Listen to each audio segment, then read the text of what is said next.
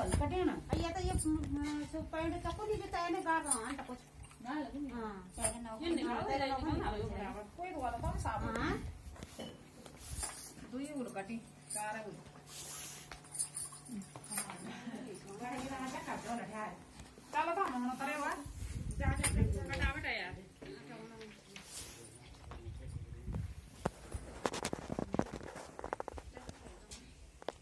ఆడితే